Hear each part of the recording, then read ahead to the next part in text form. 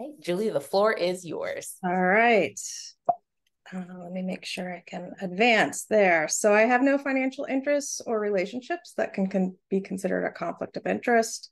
Just a, a little bit of background of who I am and what I do, which is actually going to be relevant for this presentation. So besides um, assuming uh, the dean role of the College of Graduate Studies, where we have a growing number of programs, uh, I'm also directing the Medical Ethics and Humanities program and have been um, since uh, 2005. And as a clinical ethicist, I serve four clinical sites, including Direction Home, where um, Direction Home is a four county area agency on aging. And this uh, Direction Home actually meets the needs of both rural and urban uh, families. So I'll, I'll be mentioning them later in this presentation. I'm also a medical and graduate educator for pre-professional and professional learners, um, namely physicians, pharmacists, uh, nurse nurse practitioners, and uh, public health officials. And so, learning from them, as well as being able to have the the uh, fortunate opportunity to engage in educational uh, classroom as well as community education uh, opportunities. I've gained uh, in, a, a, different perspective, I think, on some of our both rural and urban communities. I was inspired by some of the work I did with Asia Inc. Um, in Akron area, and I know there's a, a Cleveland um, site as well.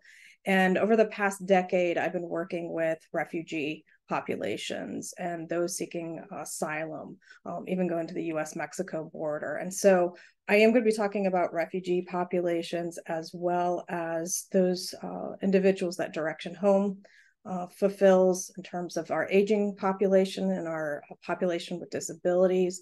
And I'm also going to be talking a little bit about human trafficking. So I will give an overview of Portage and Lucas counties, uh, just for those of you who may not be familiar with these particular counties.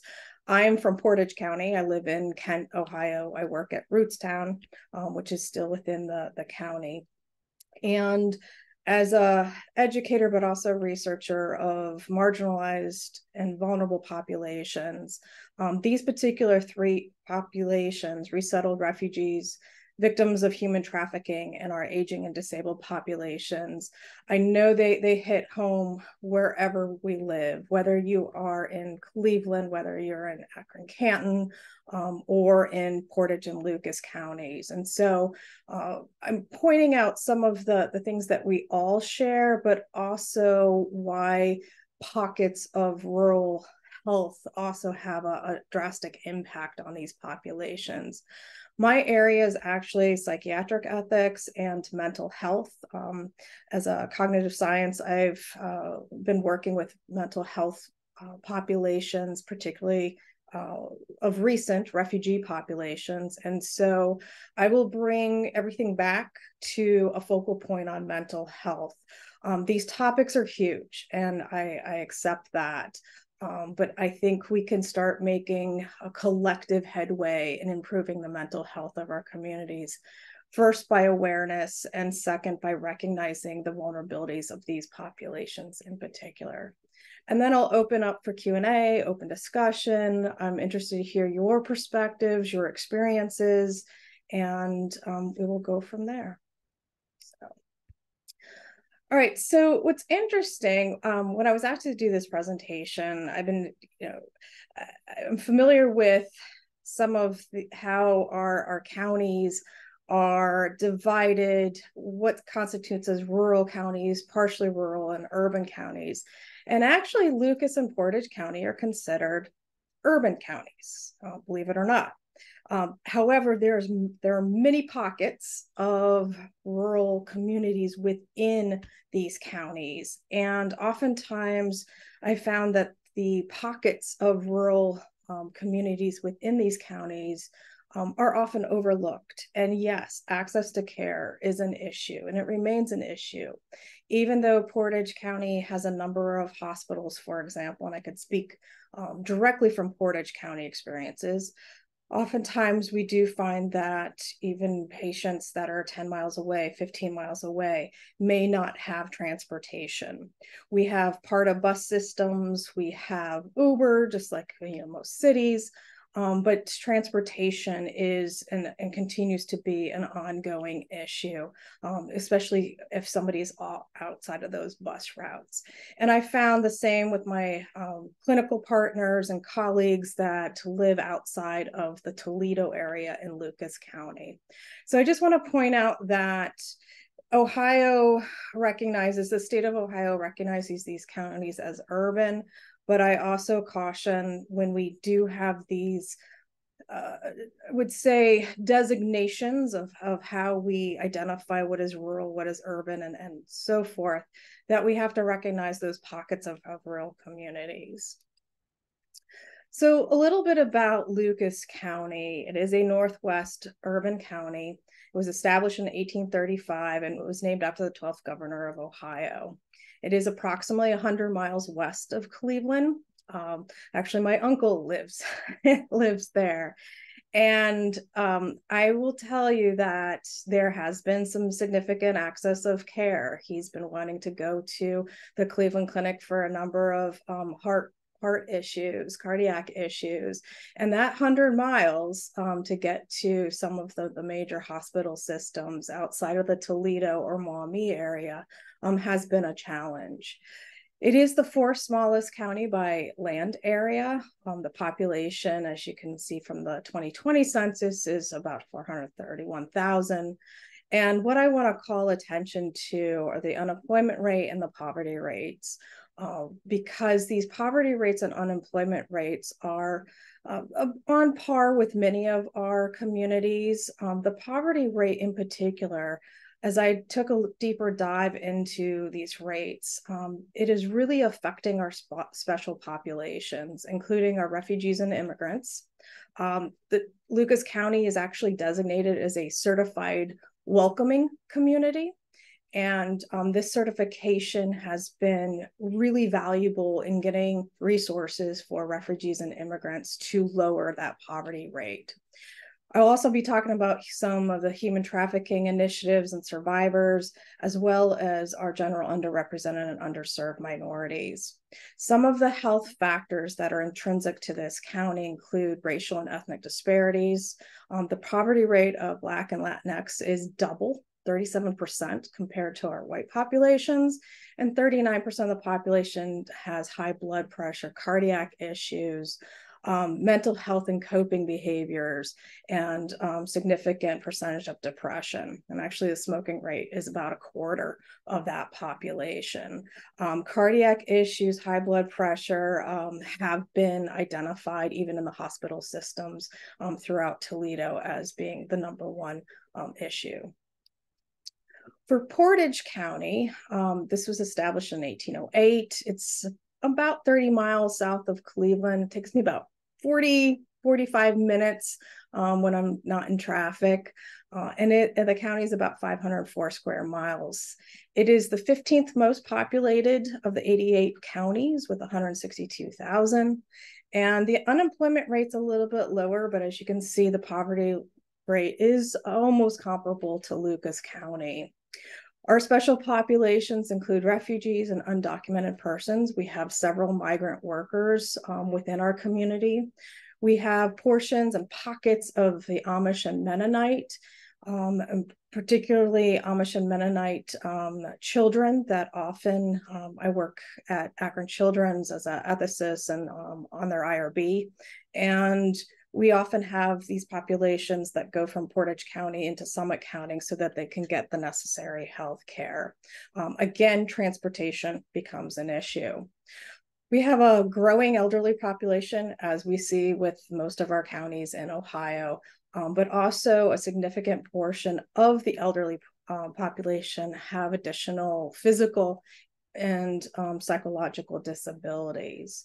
Again, I'll be talking about human trafficking survivors. While it's not as prominent as Lucas County, um, it is uh, our county is a gateway um, for many of the human trafficking behaviors. Our health factors are primarily focusing on mental health and coping behaviors. with again high smoking rates and um, an increase of depression. And I would also add anxiety. Suicide rates, particularly among our special populations, are on the rise. And these are some of the things that we are concerned about. Here at Neomed, we've done some initiatives to combat um, mental health as well as addiction issues, which is part of mental health. Um, and so we're really actively working together among multiple departments uh, and hospitals to address these issues. And I could speak more of that in the Q&A. So because we're basically considered urban, um, I do want to mention the importance of the rural reach. And how even urban communities, whether you're living in Stark County or Cuyahoga County, there's this notion of this rural reach that, um, regardless of how we're defined, what borders that um, are, are, given to us, um, this is uh, our, our work has a great impact on on rural communities and how we work with rural communities whether it's telehealth whether it's providing better access via transportation or simply recognizing the variability of populations. So the university of toledo neomed kent state among several public and private institutions do train we recruit and train students um, from rural communities. It's part of our mission, in fact. And we want to continue to increase rural workforces to go back into the rural populations, but also to have uh, individuals from rural communities to be engaged in urban communities to better educate and uh, improve awareness about the social needs, about the health disparities that are intrinsic to rural populations several hospital systems within these counties, um, including satellite clinics. Uh, for example, University of Hosp Hospitals, Cleveland, we have University Hospitals of Portage County.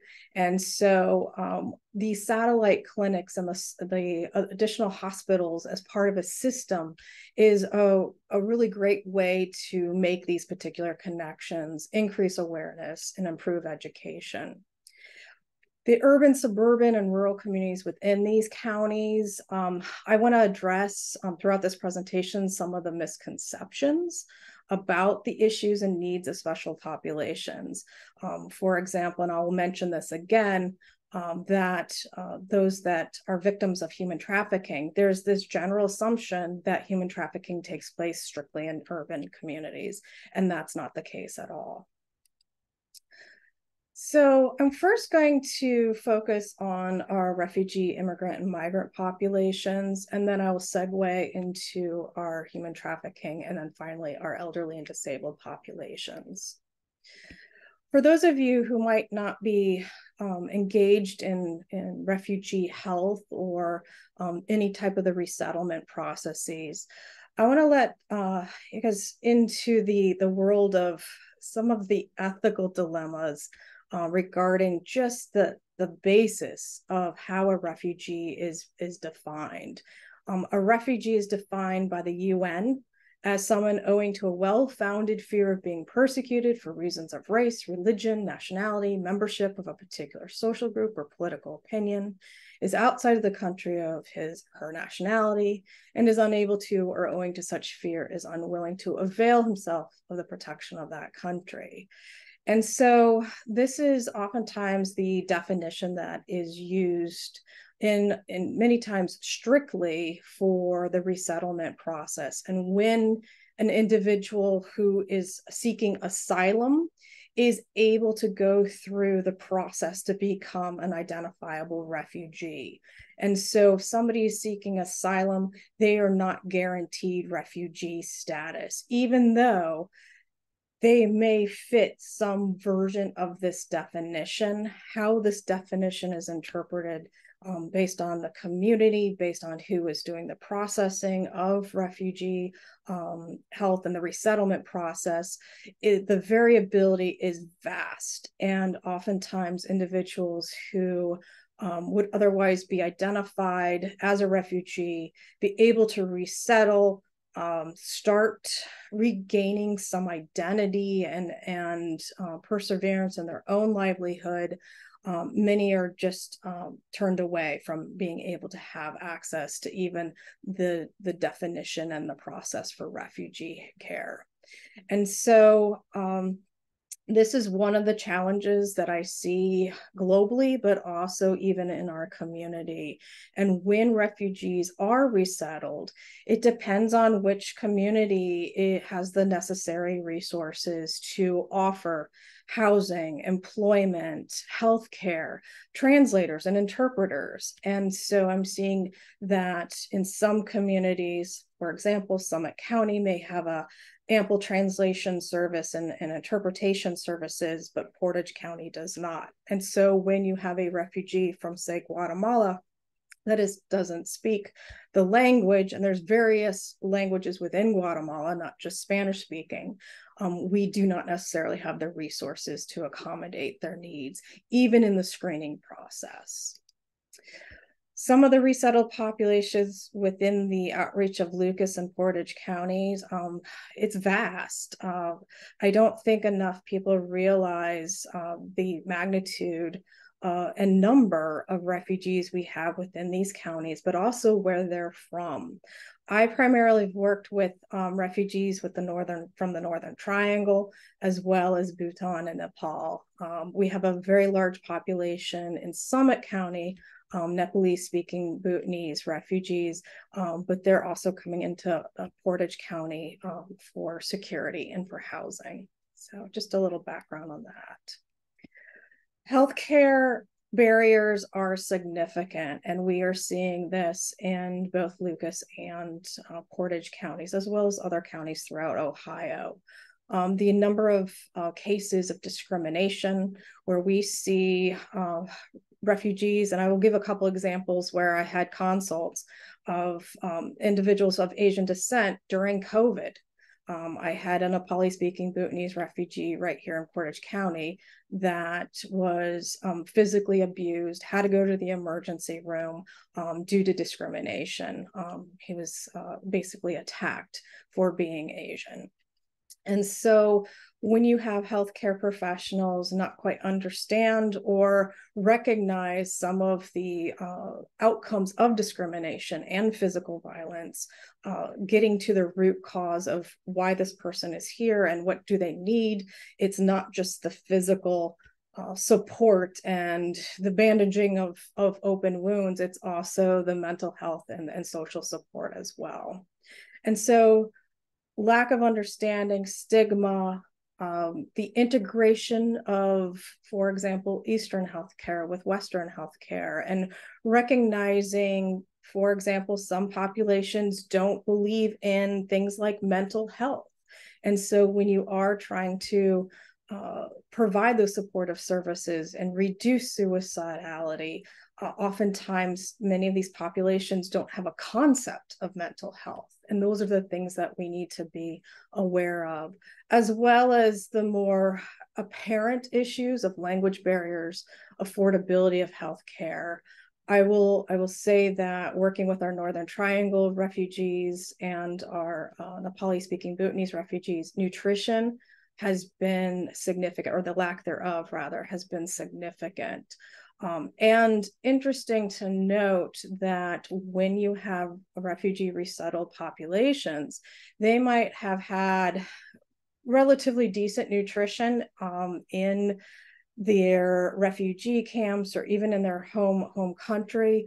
But when they acculturate to american culture their nutritional needs can actually disintegrate. I've had families that found the love of coca-cola and um, they had issues with uh, diabetes. They had issues with their, their teeth, uh, dental issues, because they would be consuming mass quantities of Coca Cola because it was something new, it was something sweet that they loved. Um, but this was an issue of nutrition. So, and again, the, the transportation issues. When we look at human trafficking um, as a population, just some basic facts, um, and, and, many of you might work with this population of um, human trafficking victims, but every year, one to two million men and women uh, and children become victims of human trafficking. Traffickers can make anywhere between five to 50,000. I've heard even some on the black, net, the dark net, the black internet, um, that it's even higher depending on age. And again, the misconceptions that this only exists in big cities. Yes, this occurs quite often when there are uh, major NFL football games or uh, major events in cities. Uh, in fact, uh, more and more law enforcement are on the lookout because these things tend to happen during major events. Um, but in Ohio, we're seeing this in our own backyards. And so Ohio is actually ranked 14 out of 50 states for active criminal human trafficking cases, and 80%, 86% of those victims being minors. And the reason, one of the reasons, and I think one of the main reasons, the more that I, I connect with folks, are as the, the major highways. And a lot of the trafficking occurs where you have full uh, rigs, big rigs, um, trucks that are bringing mass amounts of women and children across state lines and into Canada. And at least 1,800 people at any point that we know of um, at a point in time in Ohio are held in bondage. And so the governor started a task force back in 2019 and has accelerated funding um, since then to address these issues. And just to give a, a picture of, I mean, when you start looking, oh, yeah, we have a, a lot of interstates and high, interstate highways. So 21 with seven major connecting um, trafficking routes and they're going through the Toledo, Youngstown, Canton, um, Akron, and they're hitting Portage County and Lucas County along the way. So. so Toledo is known as a global gateway city and known victims of trafficking. Again, there's a, probably a whole population of unknown are found in Toledo each year, um, and this is 2023 data as a port city, as an international border city, it's not too too far to get up to Detroit and then over to Canada. Young people are delivered to each other against their will. It was the third largest global gateway city for sex, um, child sex tourism in 2010, and we uh, dropped down to fourth place. This is still not good, but efforts have been made, um, significant efforts have been made in Lucas County to address these issues. Um, it's interesting toledo along with miami portland oregon las vegas um, toledo is named um, along with those major cities. And so i want to shout out to our folks at university of toledo in addressing uh, human trafficking. And they have a human trafficking and social justice institute that was started in 2015 and the university hosts the oldest and largest annual trafficking conference in the US, uh, attracting folks from 42 states, 30 countries, and their aim to educate, increase awareness, identify ways to prevent and intervene. And so um, kudos to University of Toledo for taking lead. And I, I hope we can learn more from some of their initiatives.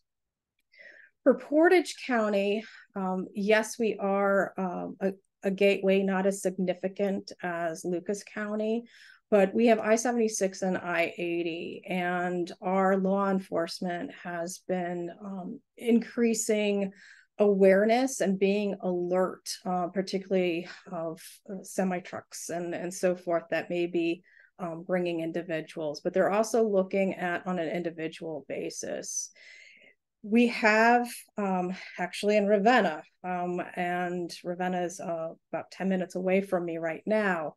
We have identified individuals that have been held captive, forced into sex and domestic labor, and there was a significant ring um, that included Stark, Summit, and Portage County. And so law enforcement stopped that ring um, about four or five years ago. What came out of um, some of the building of awareness was this project known as Project Promise. And it was an effort to collect narratives from victims um, from healthcare professionals, from others that were taking um, initiative and care of that community. And so um, they launched a project um, just last year called Silhouette Voices Heard. And it's an effort to dispel the myths, such as it doesn't always happen in the cities and to be on a lookout for some of the nuances in both the pockets of, of rural communities as well as um, those communities that are off of major highways. The last population um, that I uh, would like to uh, talk about and open for discussion is our Medicare population as we all know, um, we are an aging population, and with age comes additional health factors and uh, a growing number of disabilities that unfortunately are not always addressed. And so I pulled this off of our area Office of Aging in the Northwestern sector, and this is uh, Lucas County um, as one example.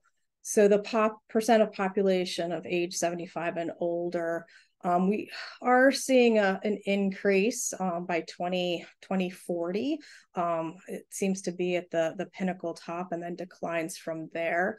Um, so that means that we have a good 15, 17 years where we're going to see a, a, significant increase of our um, growing elderly population. And the percent of population uh, of, of aging groups living with functional difficulties uh, it includes self-care, cognitive, ambulatory. You can see ambulatory here on the chart is growing. Um, the independent living situation, and I'm seeing working at Direction Home and sitting on their board, I'm seeing a, a greater number of um, individuals that do not have support systems, do not have family members that are willing to um, be there, um, or simply do not have the means, financial, social or ability because of living with their own disabilities to take care of their a- aging parents or um, other family members. And then vision and hearing is on the rise. So, mental health factors with and kind of the overarching theme of all these three populations. I I've been doing a lot of work on issues on forced displacement and the forced displacement of refugee populations is quite apparent, right? I mean, individuals that have had to flee their countries because of persecution, as well as victims of trafficking that have been forced out of their their homes, have been forced out of um, what they knew to be um, their their lives and manipulated and forced out of state and even out of country. Our elderly and disabled um, some would say this is a reach about forced displacement, but we are seeing a growing number of elderly and those individuals with disabilities, or a combination of both, um, being forced out of their homes without options, without the opportunity to bring in more home health care. So, Direction Home, um, for example, has a, a bevy of social work, of nursing, of supportive services where the effort is to have individuals stay in their homes, get receive health care um, to the best of, of one's ability without having to be automatically transferred into assisted living or nursing homes. And so that is just one one organization, one effort. Um, but we're I'm seeing in Portage County in particularly, uh, my folks in Lucas County uh, might echo the very same that elderly are often not given the choice. And so if they have injury, such as a, a broken hip, falling down, um, either their family or even healthcare providers would recommend automatic transfer into um, other facilities without considering um, the the opportunity um, when that opportunity is available and can meet their their medical needs to live at home And so the issue of forced displacement, even when it's justified among our elderly population, addressing the mental health issues when one has to leave their home is quite significant. Uh, I, did some work in, in South America, and the number one rate of suicidality is actually their elderly population um, being either not taken care of properly by family or friends um, or having to be displaced in this particular way. And I, I don't want to see that happening as we see our growing elderly population um, because the mental health issues of being forcibly displaced um, is quite significant. And we need to do a better job in, in delivering those mental health resources. So, the other mental health disorders and illnesses that often go undetected of all three of these populations sexual violence and rape. And yes, I've um, unfortunately been uh, privy to some uncomfortable discussions in nursing homes where um, individuals have been uh, violently a- attacked um, by other other patients, even by other um, healthcare professionals. Um, the issue of witnessing or experiencing violence, like we have in our refugee populations, where they are re-traumatized um, and they have not had an opportunity to have the the PTSD and so forth addressed um, from their previous uh, experiences. Torture, imprisonment, um, the feelings of imprisonment even um, need to be addressed, as well as uh, general neglect and abuse. So, PTSD, depression, suicide, anxiety, drug and alcohol abuse, and then the feelings of shame and guilt, alienation and isolation um, are intrinsic in all three of these populations and is on the rise. For our refugee mental health, um, PTSD is a major mental disorder that has been uh, studied, has been uh, widely recognized globally. And as you can imagine, whether it's trauma, war, neglect, starvation, all of this, all of these factors contribute to PTSD. And yes, they do have a very high rate of suicide and untreated depression, anxiety. And in part, like I mentioned before, um, if there's no concept of mental health, if they don't understand what mental health and mental health resources are available, um, then they're they're not reaching out, nor are we asking the appropriate questions at times. Ooh, I skipped a song. Sorry about that. Um, the human trafficking effects, um, they're likely to experience many of the same things. And here is a, laundry list. It's not an exhaustive laundry list of those additional things that they experience that may help you in recognizing or at least asking the questions and exploring whether or not this individual has been human trafficked. Um, they have come into our hospitals, our clinics um, with what we believe to be a family member or a friend, and when in fact the individual is the, the trafficker. And so um, some of these uh, behaviors, some of these experiences might help you at least ask the questions about you know who this individual is with how are, do they feel safe um, and so forth. And then uh, in our um, mental health community among older adults uh, pulled this from lucas county. Uh, lucas county has done an amazing job of at least uh, recognizing and collecting a significant amount of data. And so we can see the um, features that are really contributing to mental health. Abuse as you can see self neglect neglect and exploitation.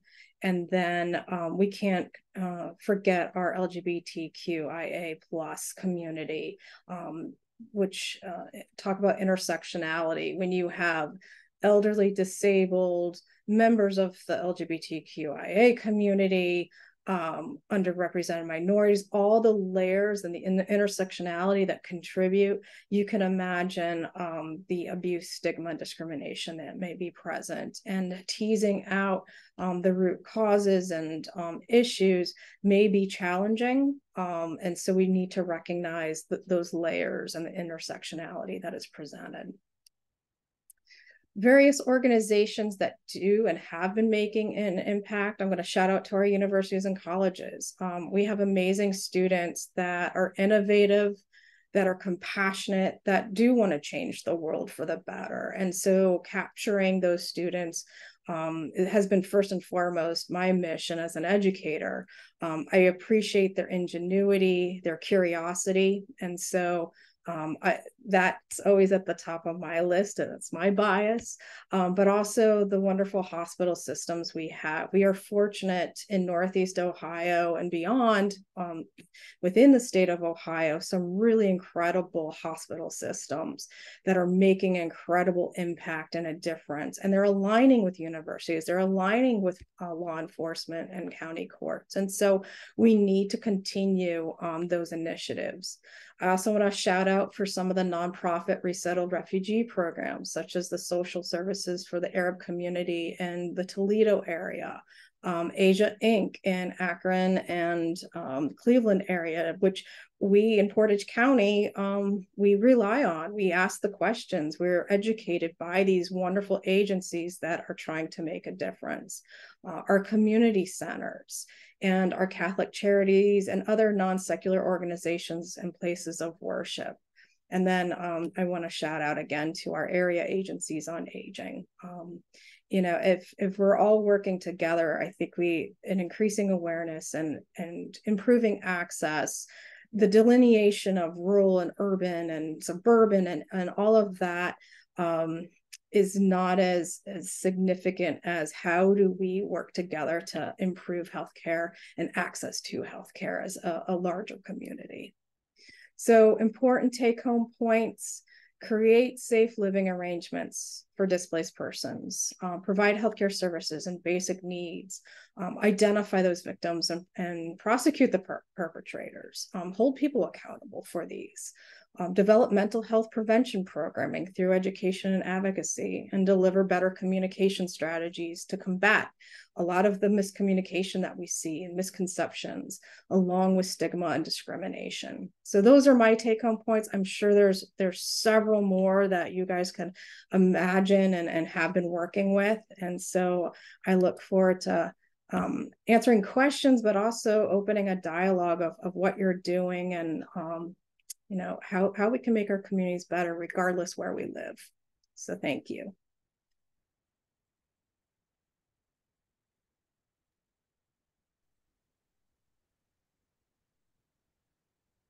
That was excellent. Thank you so much. Um, a lot of kind of later stage translational science benefits opportunities with public policy public health any thoughts? Is anyone working with rural communities or doing work around any of the kind of priority items that Dr. Aultman has shared with us?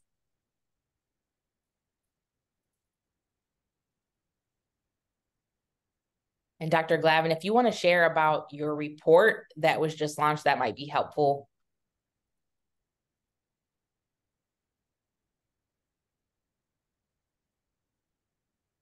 Okay. Um, I'm Yifan Glavin. I'm part of faculty case, and uh, we just conduct the first uh, Cuyahoga County, City of Cleveland, the AAPI community profiling. And so we have uh, two, 200 uh, vaccination hesitancy and social determinant health and uh, factors. And we also conduct uh, a ethnic group and uh, with a focus group, try to understand the issues. And uh, so, Dr. Aultman, you mentioned about a couple populations are very um, kind of consistent with what we have found. One is the refugees populations.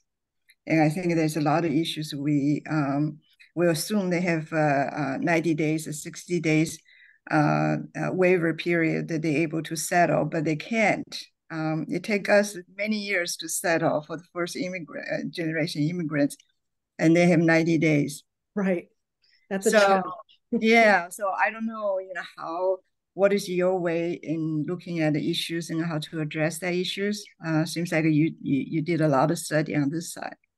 So I, I think this is an opportunity for this group and CVCT and, and others to uh, do some do some research on this and to show the data and to show the government the data uh, that you know 90 days is not a lot and to explain the processes and procedures and I, I see uh, Richard's question about legal help with asylum status. So yes, so legal aid is is offered. Um, in fact, one of my former law students is um, has been working in the Akron area on legal aid and has been focusing on um, refugee populations. A lot of our agencies um, have have legal aid, legal assistance, such as Asia Inc., but it's not vast and it takes time. And to Yvonne's um, description of the 90 days, we don't have that time to not only deliver vaccines and appropriate health screenings,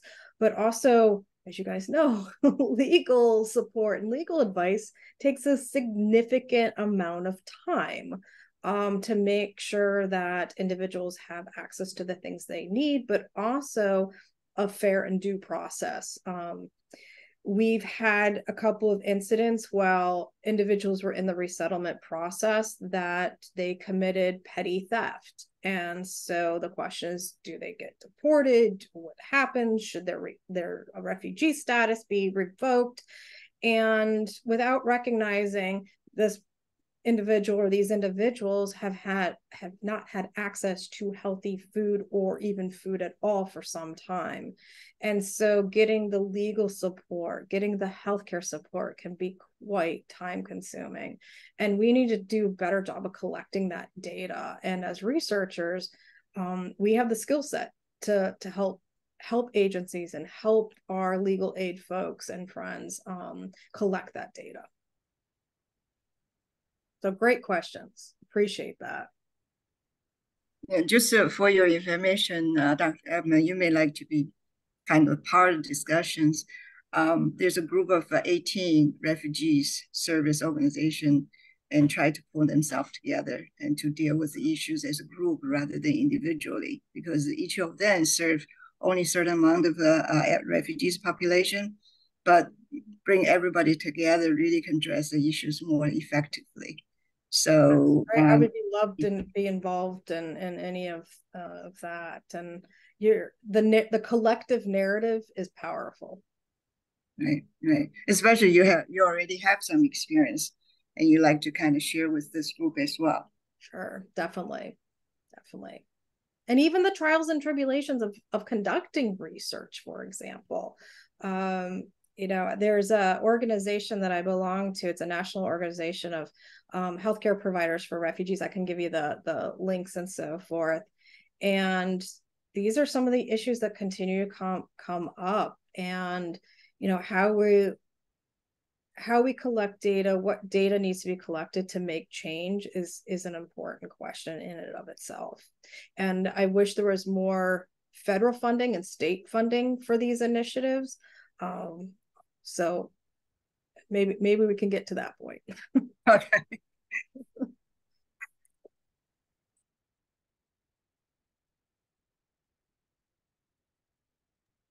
Do we have any other questions, comments?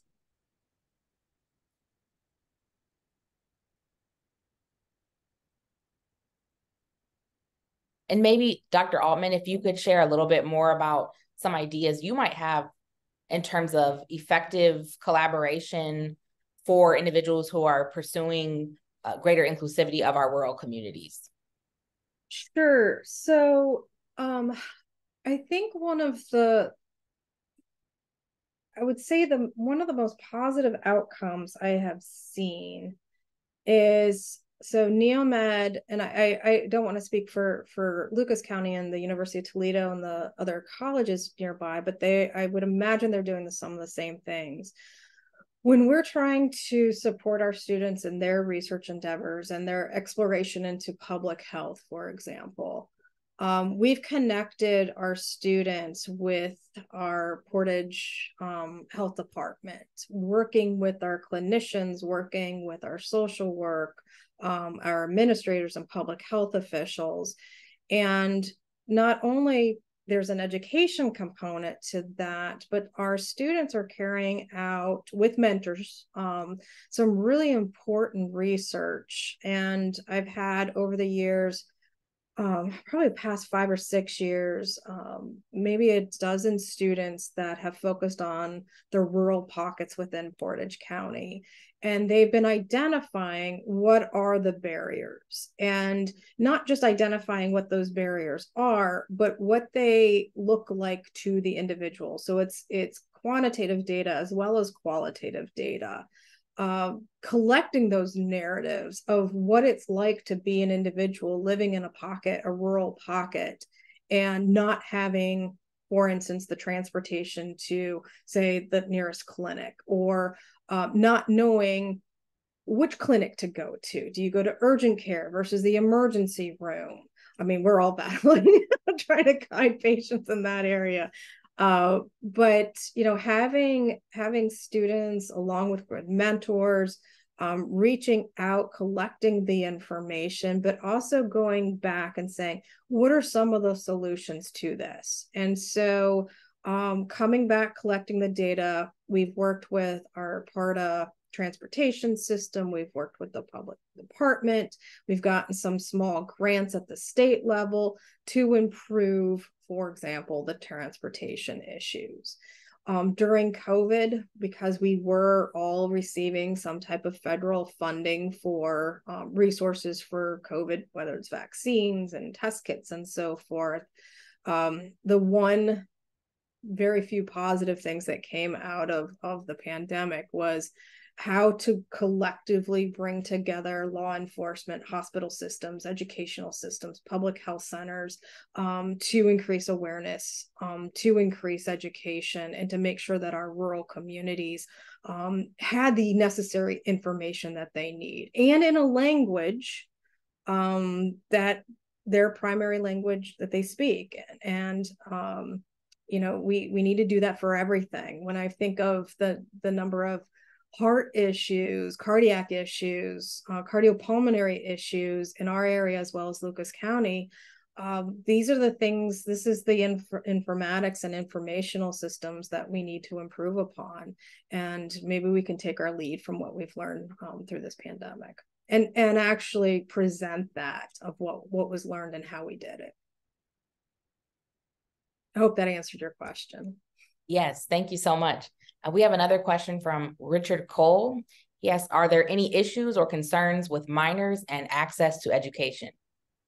Um, not in Portage County so much, but I will say it's um, minors and access to nutritional needs. So we have, you know, public school systems that uh, we've made a concerted effort making sure that the truancy rate is lower, that there is progression and retention of students. What we're seeing in my county is problems of nutrition, where um, school programs, lunch programs uh, vary across the county.